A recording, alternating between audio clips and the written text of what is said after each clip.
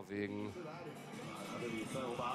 Ob die aus Luke 10 springen oder 12, da muss es nicht um Rekorde gehen. Da geht es einfach nur darum, auszuspringen, wer der Beste ist. Sie hätten es beide verdient, so gut wie sie sind und so wie sie den anderen durch ihre Konstanz ganz früh schon gezeigt haben.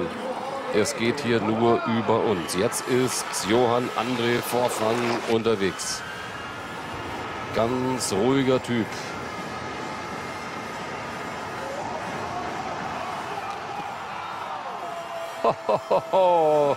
Was ist hier los in Vickersund? Unterdessen bekomme ich die Information, dass wir sofort, wenn das hier zu Ende ist, zur nordischen Kombination geben, zum großen Finale nach Schonach. Auch darauf freuen Sie sich ganz sicher schon. Was haben wir da für tolle deutsche Erfolge in dieser Saison gefeiert? Das kann heute genauso sein. Jetzt hoffen wir zunächst mal darauf, dass gleich Andi Wellinger aus Podest fliegt mindestens mal da Johann André Vorfang 245,5 Meter. Noch einen halben Meter mehr, als er in Planitzer 1 geflogen ist, draufpackt und damit nächster Führungswechsel.